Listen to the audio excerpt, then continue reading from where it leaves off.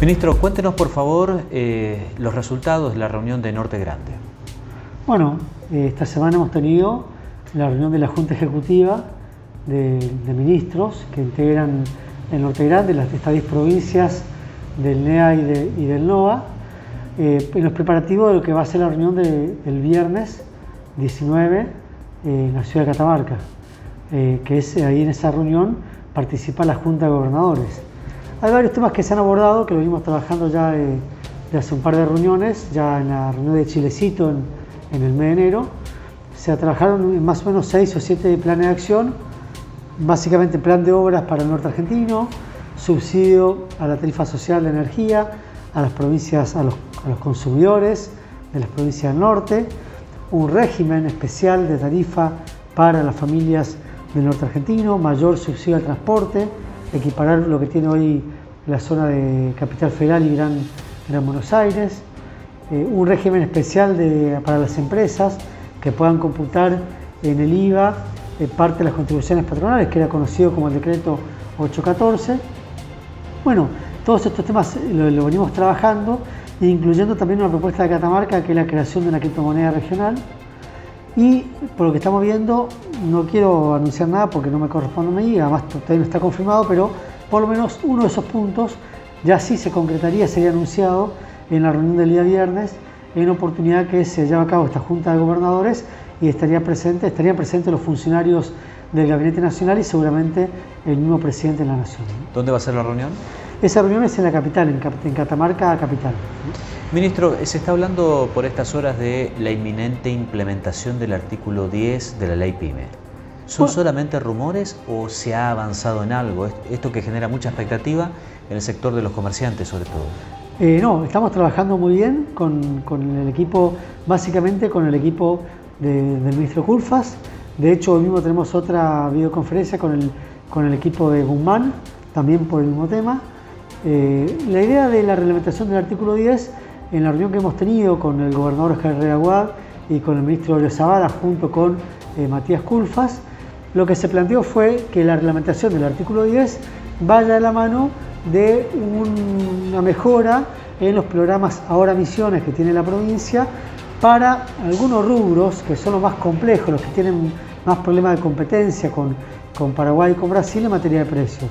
Es decir, no sería algo general, sino sería, a ver, para que se entienda la idea, tener una hora misiones, pero en vez de que sea para pagar en 12 cuotas sin intereses, y con un reintegro del 20%, que sean 12 cuotas sin intereses, pero con un reintegro del 35%.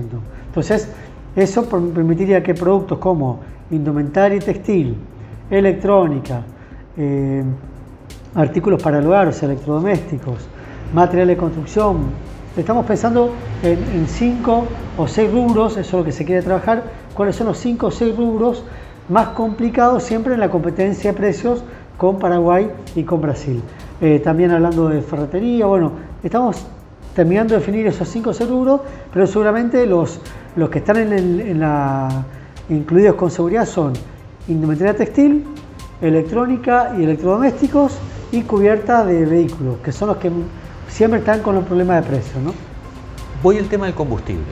Estamos asistiendo otra vez a un aumento del combustible y hay algunos empresarios que dicen bueno, ahora que se va a implementar el artículo 10 de la ley PYME, si eso va al sector de los combustibles, vamos a tener un descuento del 50%.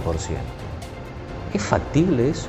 ¿Se está hablando o son solamente rumores? ¿Está en la mesa de trabajo eso? Eh, no, a ver, por eso vuelvo a decir, la idea de, la reglamentación del artículo 10 no va de la mano de bajar impuestos, eh, como que hay más reticencia a que esto se traduzca en rebaja de impuestos, porque en definitiva se duda de la eficacia de que la baja de impuestos se traduzca en baja de precios. Es decir, acá lo que se busca es que los precios sean competitivos, que el consumidor misionero al momento de comprar diga, no, compro en Posadas, compro en Bernardo Nigoyen y no me voy a Encarnación o no me voy a Dionisio Sequeira, porque con este programa de descuentos consigo buen precio, consigo financiado hasta en 12 cuotas sin interés. Entonces, eh, se está hablando de, de reglamentar el artículo 10 con un programa de, fomento del consumo, de mejores reintegros a los que tienen la hora misiones para determinados ítems, que pueden ser 5 o 6, que son siempre los que están más complejizados en materia de precios. Combustible no está en la lista.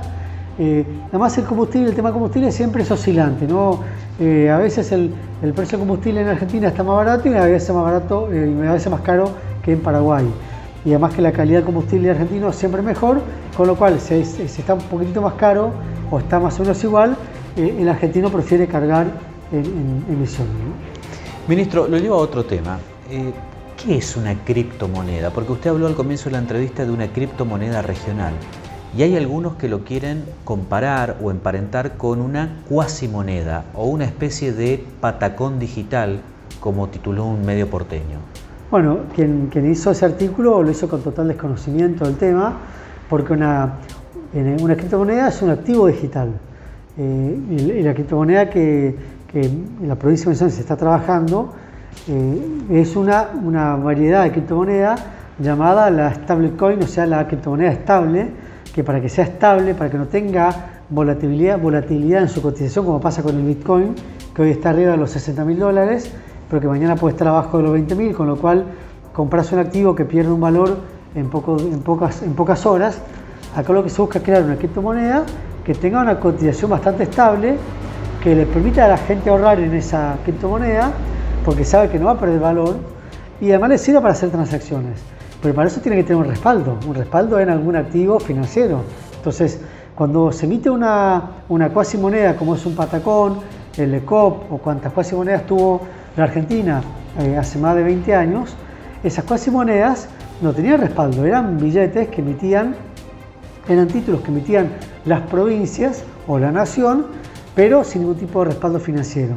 Por eso su valor su valor con respecto a la moneda siempre estaba en un 70 o 80% por debajo. En, este, en el caso de criptomoneda, por cada token de criptomoneda que esté emitido, va a estar respaldado por un activo financiero que se busca que sea un activo financiero en moneda extranjera para que su valor se mantenga.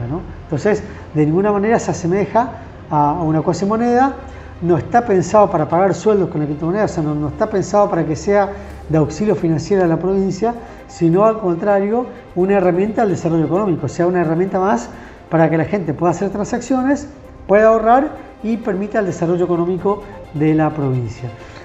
Perdón, eh, para terminar la idea, eh, paralelamente estamos trabajando en una criptomoneda eh, asociada al bono de carbono. Es decir, esto ya es otra, otro plan de acción, ¿no? O sea, son dos criptomonedas diferentes. Son dos criptomonedas diferentes. O sea, la otra criptomoneda es emitir un token por cada eh, tonelada de carbono que, las, que, determinada, que determinada cantidad de hectáreas de la selva misionera produzcan y aporten al medio ambiente.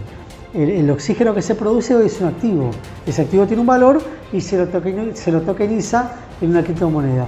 Y muchas empresas que, que, por ley tienen que invertir en activos ambientales, o empresas que lo hacen no por ley, sino por cuestiones de responsabilidad social, o entidades, hay muchas entidades de origen europeo que buscan justamente eh, hacer inversiones en este tipo de, activos ambientales, van a ser los destinatarios de comprar esta criptomoneda porque saben que están haciendo un aporte al medio ambiente.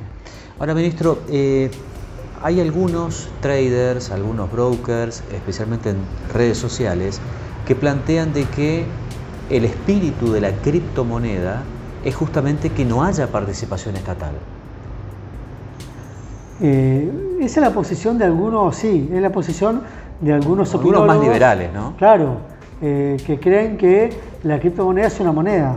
Entonces, hoy en el mundo te encontrás con más de 5.000 criptomonedas en circulación, no hay ningún tipo de regulación, salvo la, la única regulación que hay con, con el tema de criptomonedas es lo que tiene que ver con lavado de dinero. O sea, las criptomonedas están obligadas a cumplir ciertas normas sobre el lavado de dinero porque naturalmente, eh, como cuando uno compra acciones en la bolsa, compra bonos del tesoro o, títulos públicos, eh, los emisores, los que actúan como intermediarios, están obligados a actuar como agente de información de lavado de dinero y acá los, los, que emiten la criptomoneda también tienen que hacerlo. Es la única regulación que existe hoy en el mundo. Hoy ningún banco central ha podido regular la, la cuestión de las criptomonedas y de hecho países como India y China están pensando como Estado lanzar su propia criptomoneda. O sea que ya el hecho de que eh, no esté regulado, de ninguna manera limita o, prohíbe que un Estado lo haga. Es decir, y, que. De hecho, hoy India o China lo están por hacer. A ver si entendemos. Es falaz la argumentación de algunos libertarios especialmente que plantean de que el espíritu por el cual fue creado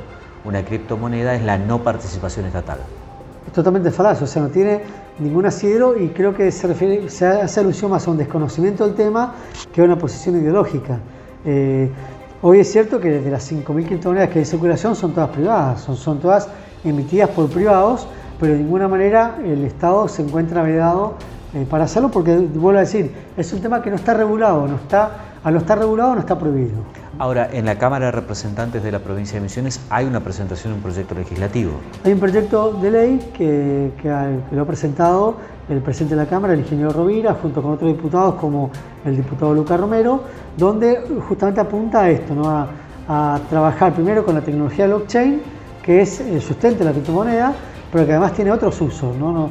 Eh, en el caso de Misiones, la idea de la tecnología blockchain es aplicarlo eh, para lo que es la la, imagen del ciudadano digital que, está llevando a cabo la Agencia Tributaria de Emisiones, que permitirá por medio de datos biométricos que los contribuyentes puedan validarse, es decir, varias sayas y con su huella digital puede validar su identidad, lo cual se corrobora con el RENAPER, que es el Registro Nacional de las Personas, y con la foto, de, con la imagen de la cara, se constata con el documento de identidad, y eso se hace todo con, con tecnología blockchain, sería el primer paso de aplicación de, de tecnología blockchain de la administración pública, pero hay otras ideas que se pueden llegar a implementar y en forma paralela el proyecto de ley también permite o habla de eh, la emisión de la criptomoneda estable y la tokenización de los bonos de carbono.